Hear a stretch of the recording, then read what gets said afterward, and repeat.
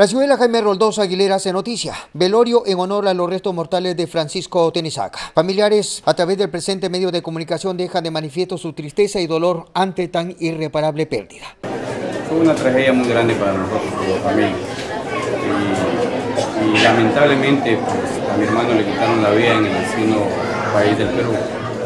Y donde las autoridades allá, la policía y la fiscalía no dieron las, facilidades para poder trasladar el cuerpo de nuestro hermano. Tuvimos que hacer muchas cosas, muchas peripecias para que el cadáver de mi hermano venga aquí al Ecuador. Eh, no, nos, no nos dejaban asentar una denuncia, nos ocultaban el nombre del asesino.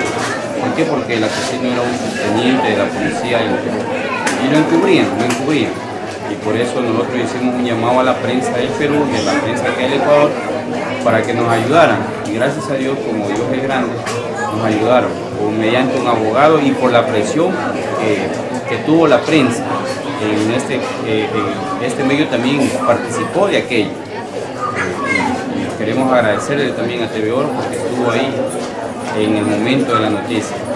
Aquí recién comienza, recién comienza nuestra odisea para nuestra familia y vamos a estar ahí vigilantes de que la de que la justicia del Perú tome cartas en el asunto y le, pongan la, máxima sanción a este asesino, porque no se puede llamar policía a alguien que coge y dispara cinco tiros a un joven de 23 años.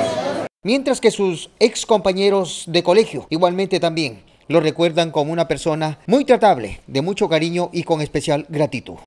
Fernando primeramente nos conocimos en el colegio, fuimos compañeros del colegio, nos graduamos con él. Eh, un compañero prácticamente muy humilde, trabajador, buen estudiante, buen ejemplo, no, no era ni malcriado. En el deporte era excelente compañero, excelente amigo.